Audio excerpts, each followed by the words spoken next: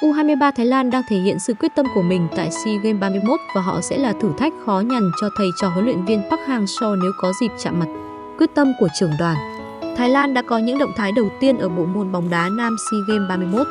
Theo đó, nhằm tỏ rõ quyết tâm cạnh tranh tấm huy chương vàng với U23 Việt Nam, trưởng đoàn các đội tuyển Thái Lan Madam Pang Anphan làm Sam đã bổ nhiệm huấn luyện viên Mano King thay cho huấn luyện viên Gragus Remaka, qua đó dẫn dắt đội U23 ở chiến dịch lần này.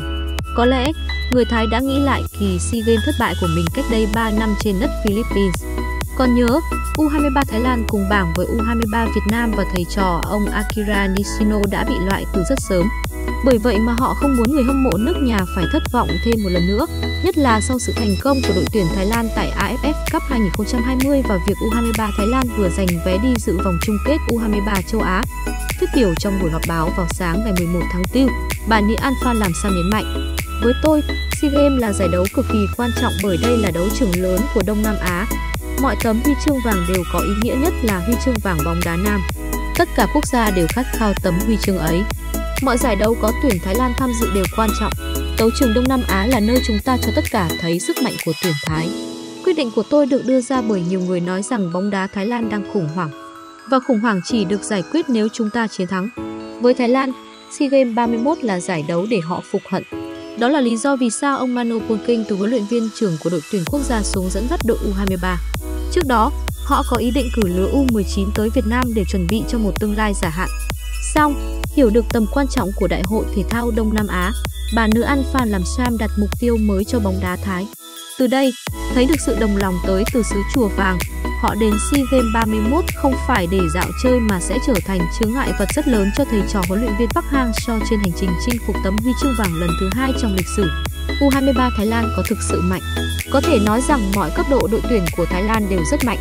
Lấy đơn cử như đội U19 vừa tham dự giải U23 Đông Nam Á diễn ra tại Campuchia.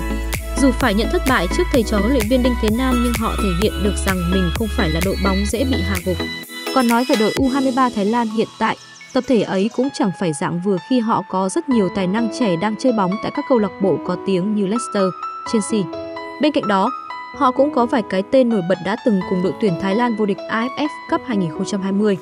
Với những kinh nghiệm được tích lũy qua nhiều giải đấu, U23 Thái Lan được xem là một trong những đội bóng đáng gờm nhất tại SEA Games năm nay. Song, sẽ có rất nhiều thách thức cho đội bóng xứ chủ vàng. Bởi lịch diễn ra Đại hội Thể thao Đông Nam Á trồng chéo với lịch của Thái League, nên các câu lạc bộ khó nhả người do giải đấu kể trên không thuộc FIFA dây. Vì vậy mà huấn luyện viên Mano Polking gặp khó trong khâu chuẩn bị lực lượng. Chưa kể, U23 Thái Lan chỉ có 2 tuần để tập trung và tập luyện, khớp đội hình. Chính nhà cầm quân người Đức tỏ ra lo ngại nhưng ông vẫn tự tin để cùng các cầu thủ giành được tấm huy chương vàng ở giải đấu sắp tới.